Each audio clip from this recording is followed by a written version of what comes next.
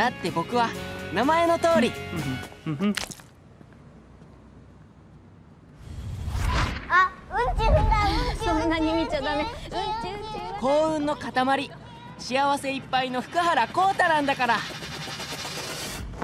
なわけねえだろ！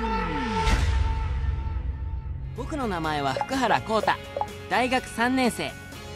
名は体を表すという通りたくさんの幸福に包まれるような毎日の僕。生まれはいちごの日。1月5日好きなものはいちごのクレープ。嫌いなものは虫とピーマン。趣味は運動で。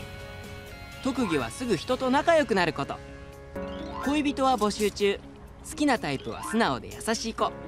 あでも好きになった人が好きなタイプかな。ふふ。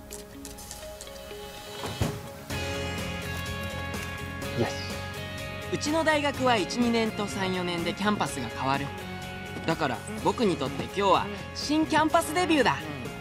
きっと新たな素晴らしい出会いもありますます充実した日々を過ごすことだろう。だって僕は名前の通り。あうんち踏んだうんちそんなに見ちゃダメうんちうん。ち幸運の塊幸せいっぱいの福原幸太なんだから。なわけねえだろ！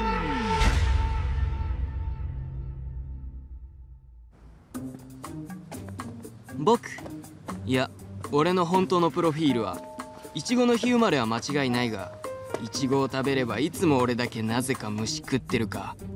もしくは。すっぱ好物はもっぱらビールに餃